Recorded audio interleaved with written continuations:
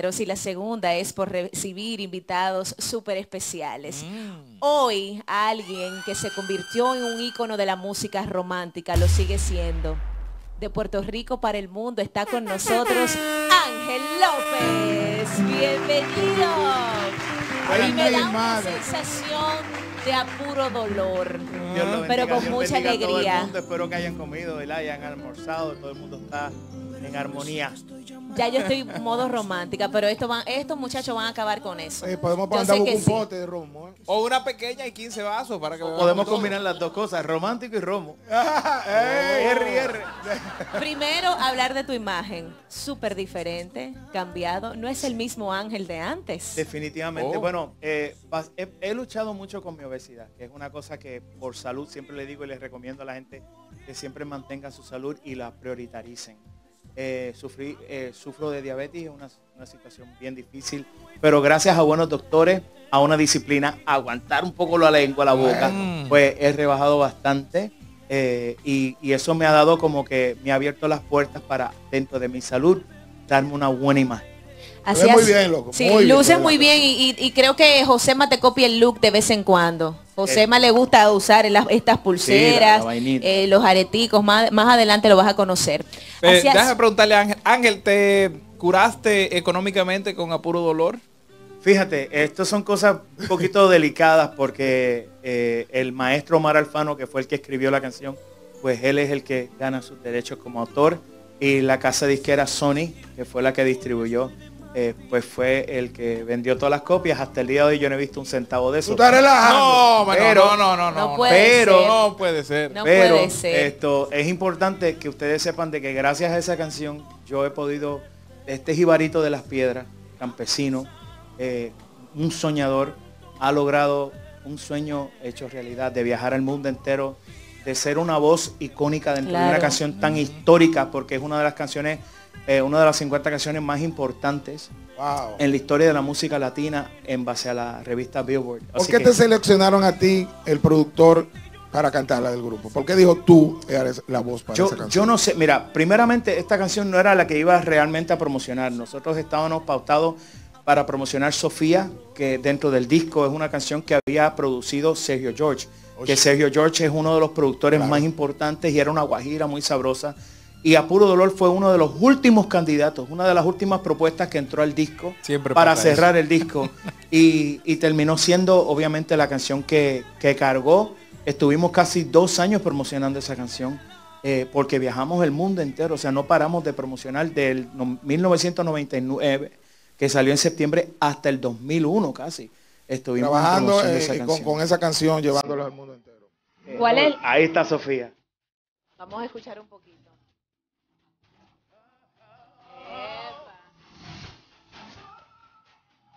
Claro.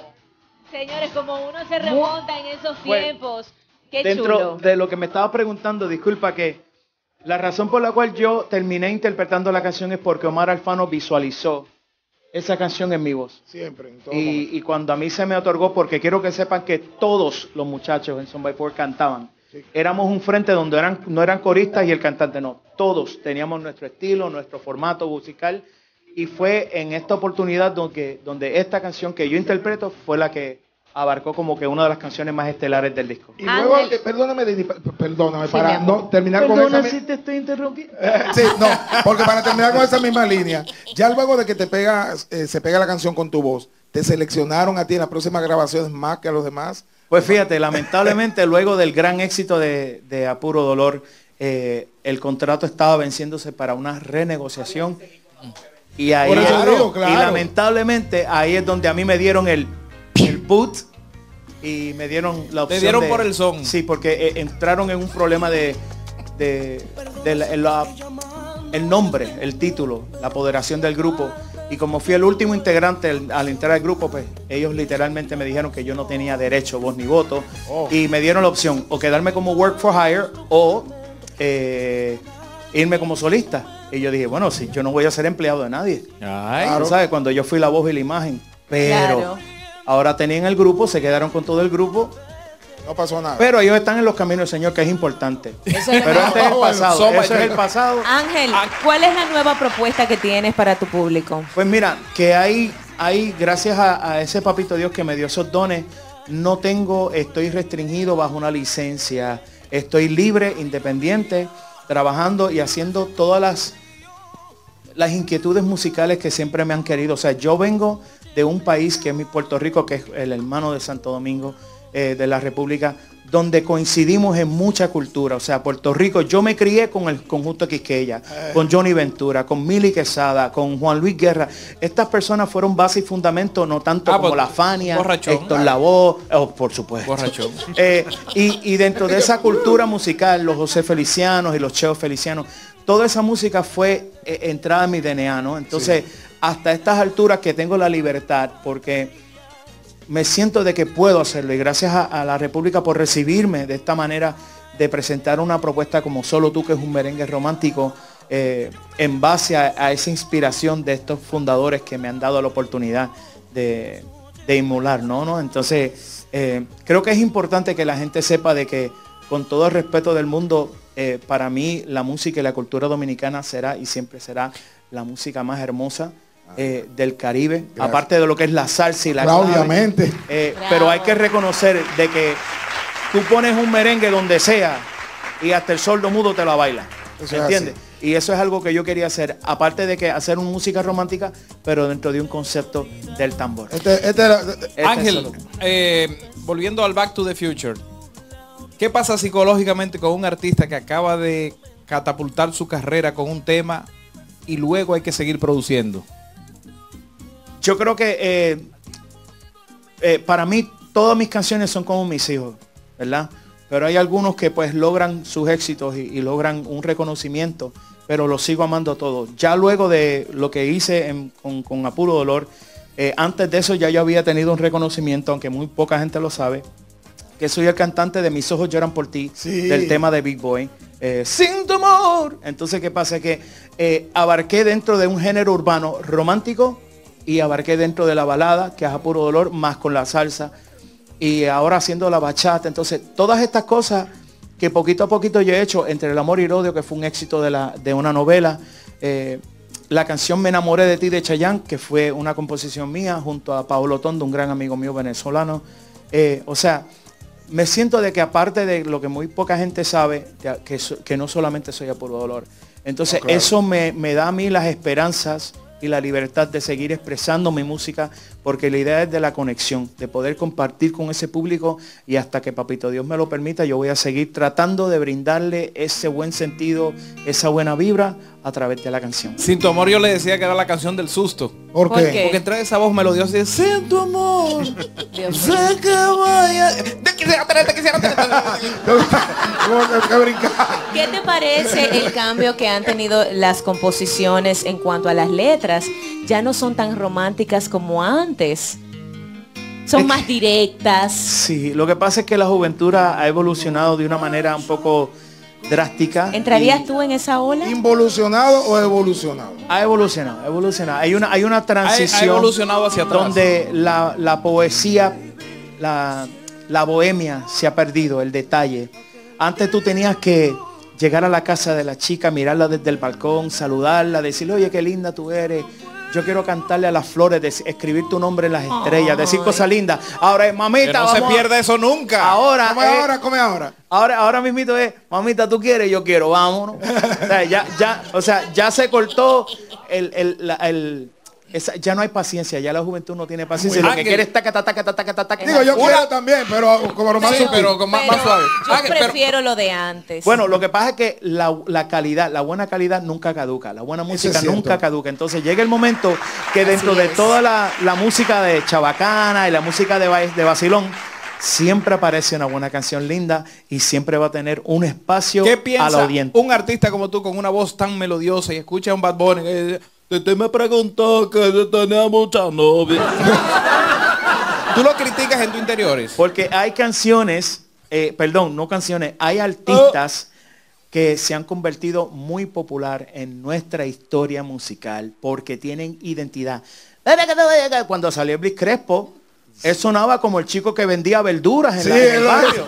es verdad, Y una voz de platanero. y esa- cómprame. Eh, eh, tengo batata y yautía. ¿Entiendes? Entonces, esa voz, esa voz resuena.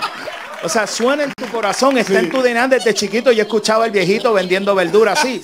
Entonces, cuando te escuchas a Toño, a Toño Rosario, que te- es, esa voz es lo que me representa a mí de- de- del merengue. O sea, es una voz tan icónica, tan particular, que cabe en ese lugar. O sea, para mí está entallado.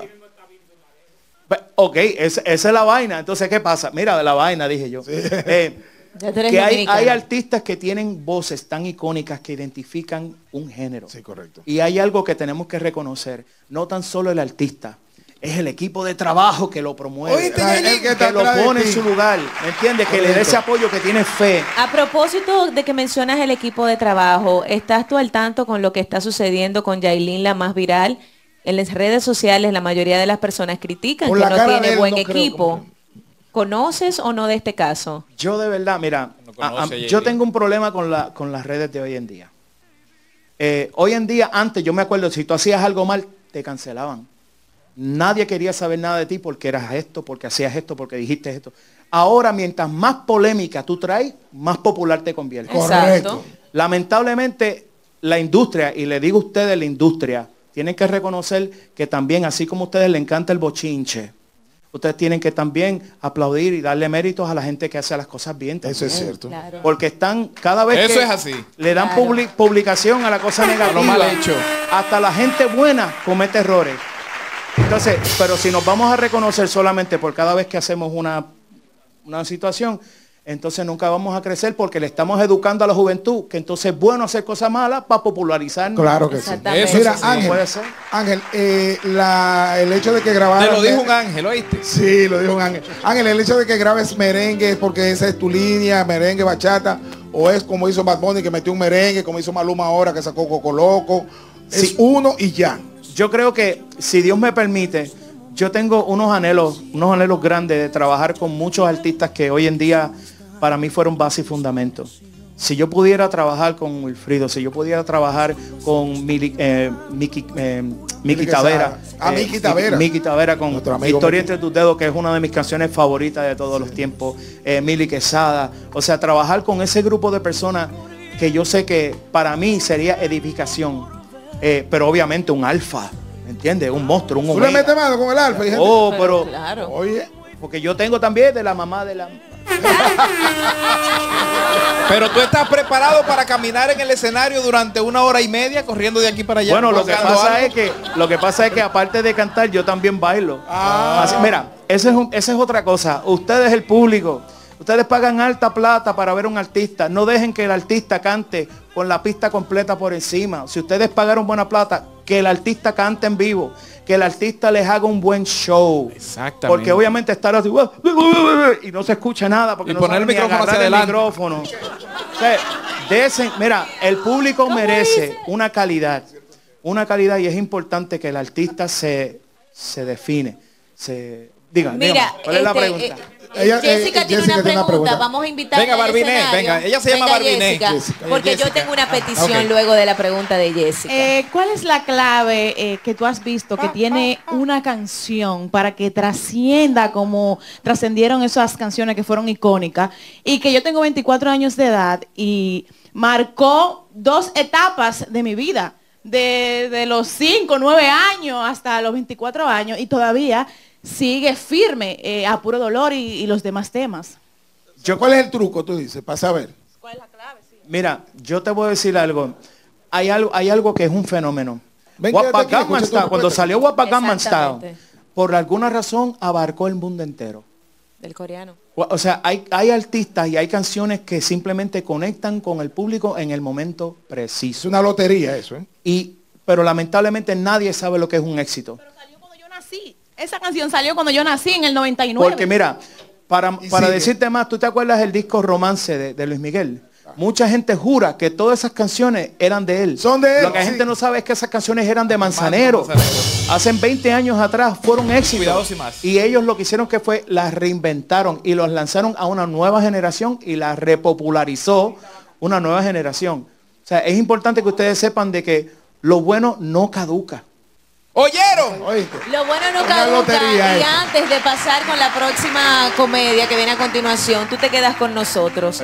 Pero tú no te puedes ir de este escenario sin cantarme un poquito de apuro dolor. A petición de todo el mundo que está aquí en el estudio y mí. en este momento, pero me hacía falta escuchar de nuevo, aunque sea un instante, tu respiración. Estoy muriendo, muriendo por verte. Agonizando, muy lento y muy fuerte. Hey, mi vida, devuélveme mis fantasías, mis ganas de vivir la vida. Devuélveme